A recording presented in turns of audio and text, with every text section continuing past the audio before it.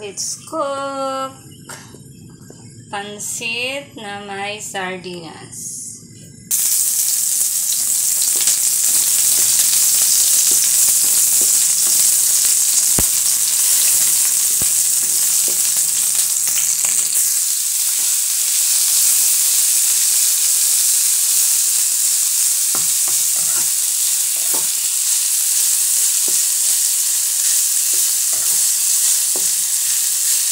Luto ng mga Bisaya, pansit na may sardinas.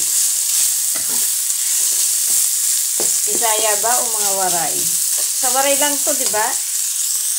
Tayo.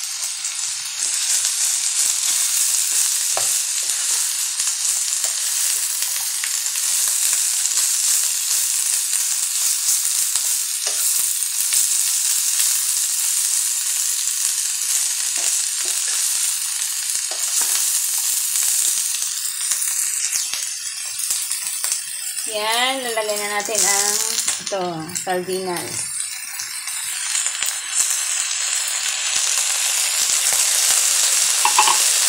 Dahil sa pansit.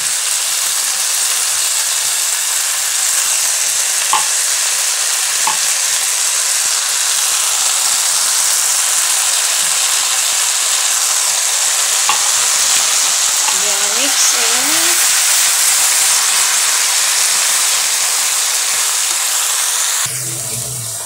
Yan na siya. Luto na yung gulay. Makulay na gulay. Pwede na tayong kumain. Huwag nang lagay yung pansin. Ayun na, kulo-kulo-kulo na.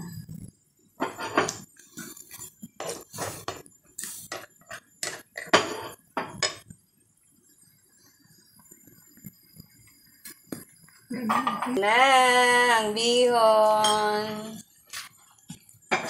Pansit bihon with sardines.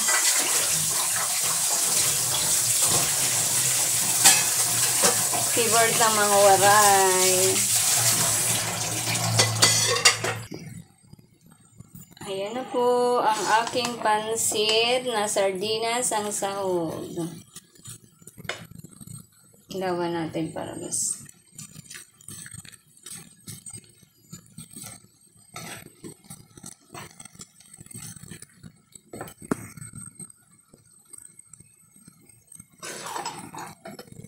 Kapit na siyang maluto.